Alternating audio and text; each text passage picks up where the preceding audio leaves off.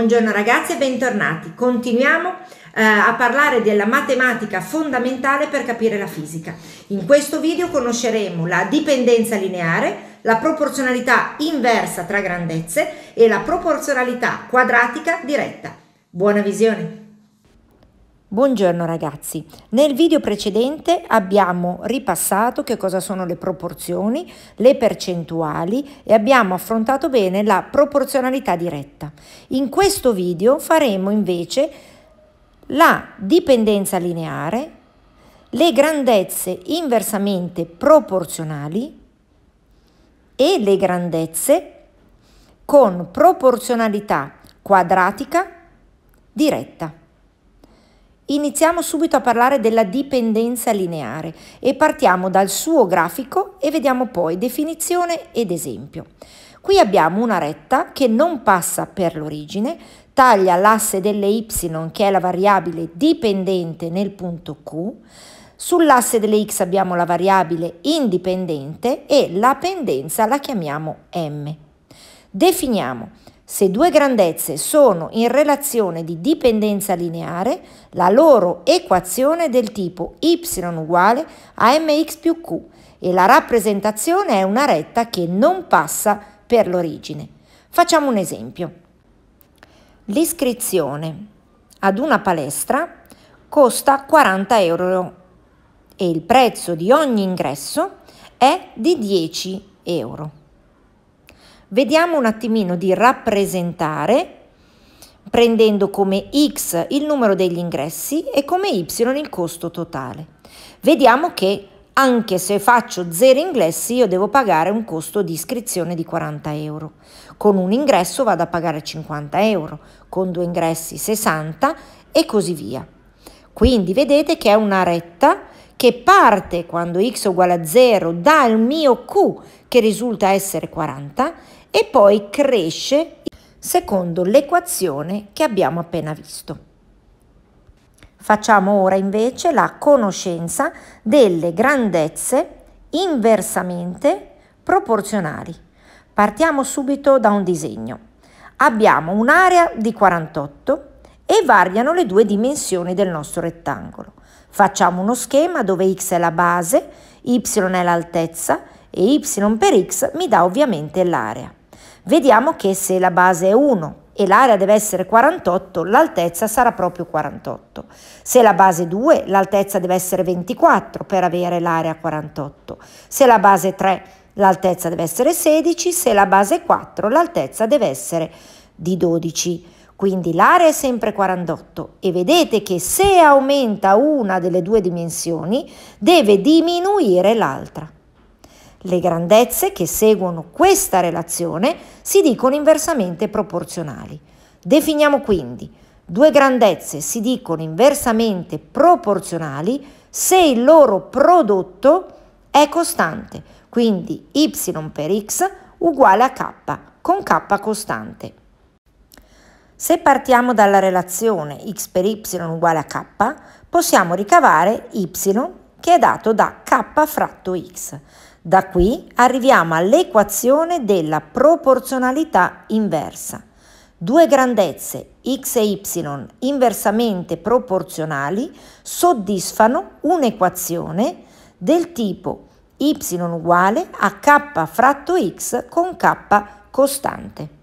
Come nella proporzionalità diretta, le x e le y sono legate ed esattamente, se guardiamo il disegno, possiamo poi definire questo legame. Se noi circondiamo di viola il 4 e andando nell'altra figura lo raddoppiamo per 2 arriviamo a 8, vedete che la seconda dimensione da 12 si divide per 2 e va a 6. Se ripartiamo ancora da 4, moltiplichiamo per 4 e andiamo a 16, la seconda dimensione da 12 va a 3 perché viene divisa per 4. Quindi possiamo dire che due grandezze si dicono inversamente proporzionali se raddoppiando, triplicando una delle due grandezze, l'altra diventa la metà, un terzo, eccetera. Analogamente, se una grandezza diventa la metà e un terzo, eccetera, l'altra si raddoppia, si triplica, eccetera. Facciamo un altro esempio di grandezze inversamente proporzionali. Sono legate da proporzionalità inversa la densità e il volume. Se considero una massa m di ossigeno che inizialmente occupa un certo volume V, densità è uguale a massa fratto volume, se il gas si espande fino a occupare un nuovo volume doppio 2V, la densità si dimezza, diventa D fratto 2. Vediamo ora la rappresentazione grafica della proporzionalità inversa. Negli assi cartesiani segniamo il lato del rettangolo, le dimensioni dell'altro e vedete che la rappresentazione grafica di due grandezze inversamente proporzionali è un ramo di iperbole. Perfetto ragazzi, riassumiamo quello che abbiamo visto fino a qua. Due grandezze x e y sono inversamente proporzionali se il loro prodotto è costante, x per y uguale a k, soddisfano la relazione y uguale a k fratto x, a raddoppiare, triplicare di x, y si dimezza, diventa un terzo, e la rappresentazione grafica della relazione che le lega è un ramo di iperbole. Perfetto ragazzi, diciamo che questo è tutto quello da sapere per poter iniziare gli esercizi. Prima vediamo le grandezze con proporzionalità quadratica diretta e procediamo sempre partendo da un disegno. Scegliamo come x il lato di un cubo, y la superficie totale. Facciamo il nostro schemino. Nel nostro schemino vediamo come x il lato, Vediamo di calcolare x quadro, che è l'area di una faccia, l'area totale e poi y fratto x quadro. Vedete che se il lato è 1, il suo quadrato è 1, moltiplico 1 per le 6 facce del nostro cubo e ottengo 6 diviso 1 uguale a 6. Se il lato è 2, il lato al quadrato è 4, tutta l'area totale è 6 per 4 che è 24 e 24 diviso L'area di una faccia mi dà ancora 6. Se il lato è 3, il quadrato è 9, l'area è 6 per 9 che fa 54, otteniamo ancora 6 facendo y fratto x2.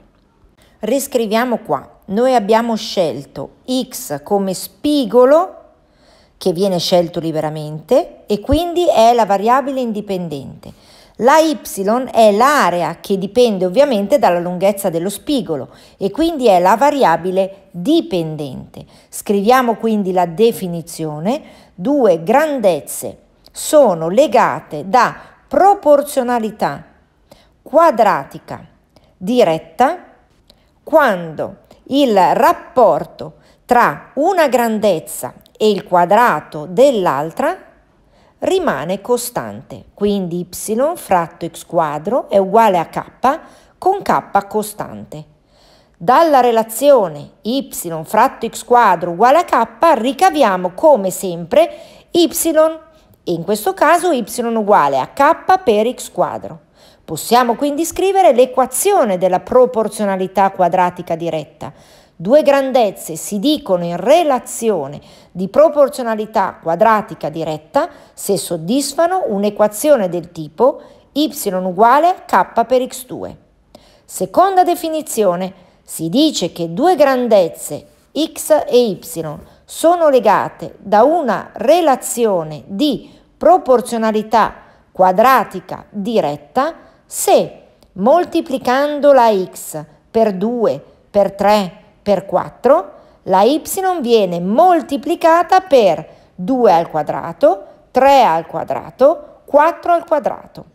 Analogamente, se la x diventa un mezzo, un terzo, un quarto, allora la y diventa un quarto, un nono, un sedicesimo. Vediamo anche in questo caso la rappresentazione grafica della proporzionalità quadratica diretta. Rappresentiamo i nostri due assi, rappresentiamo il lato dei nostri cubi e le y. Possiamo quindi dire che la rappresentazione grafica di due grandezze tra cui c'è una proporzionalità quadratica diretta è un arco di parabola. Adesso riassumiamo tutto quello che abbiamo imparato su quest'ultima relazione. Due grandezze x e y sono in relazione di proporzionalità quadratica diretta se valgono le quattro cose. Il rapporto tra una grandezza e il quadrato dell'altra è costante. Quindi y fratto x quadro uguale a k. Soddisfano quindi la relazione y uguale a k per x quadro. Moltiplicando x per 2, per 3, per 4, la y diventa moltiplicata per 2 alla seconda, 3 alla seconda, 4 alla seconda. La rappresentazione grafica della relazione che le lega è l'arco di parabola. Perfetto ragazzi, abbiamo tutti gli strumenti per poter partire e iniziare il meraviglioso viaggio attraverso la fisica. Se avete dei dubbi scrivetemi, iscrivetevi al mio canale, continuate a seguirmi e intanto vi auguro buona fisica.